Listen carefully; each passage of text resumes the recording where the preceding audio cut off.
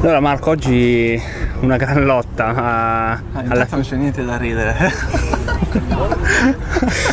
una gran lotta, ma alla fine l'hai portata a casa. Ma sì, oggi secondo me è stata una delle peggiori partite di quest'anno.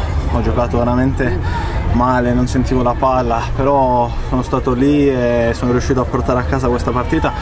Non si era messa benissimo, tante, tante chance al primo, al primo set 5-6 palle break importanti non sfruttate, poi alla fine sono riuscito a chiudere il set, il secondo ero sotto break ma ti dico veramente, veramente brutte sensazioni, però vedremo magari adesso mi vado ad allenare un po' per, per provare un po' di più questi campi, queste palle e provare ad avere migliori sensazioni. Ma nell'allenamento dei giorni scorsi così sentivi queste brutte sensazioni o ti sentivi meglio? Ah, sicuramente sono arrivato qui la domenica, quindi ho avuto solo un giorno per allenarmi il lunedì e ho giocato ieri il primo match, anche ieri non avevo buone sensazioni, oggi ancora peggio, domani avrò tutto il giorno per allenarmi, visto che giocherò venerdì, proviamo un pochino a mettere ordine in questo tennis perché sono arrivato qui e ti ripeto non avevo buone sensazioni.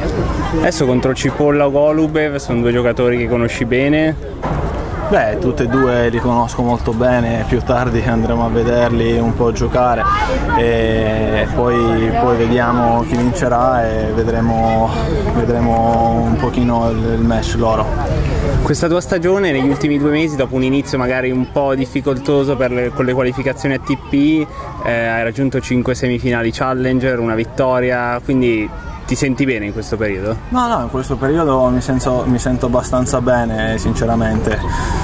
Un po' questa settimana sono arrivato appunto tardi da, da Perugia, non, è, non, sono riuscito ad allenarmi tanto, a provare i campi, le palle, un po' se, e, diversi, però comunque appunto ti ripeto, domani ho tutto il giorno per allenarmi e ricominciare a essere un po' più ordinato in campo. Un'ultima cosa, ci spieghi la scelta di continuare a giocare sulla terra in Italia anziché andare a giocare le quali a Wimbledon? tanti, tanti hanno, pensano che sia una scelta sbagliata, io con il mio staff ho fatto questa scelta, giusta o sbagliata che sia, te lo dirò tra qualche settimana magari, adesso lo tengo per me. Ok, grazie, in bocca al lupo.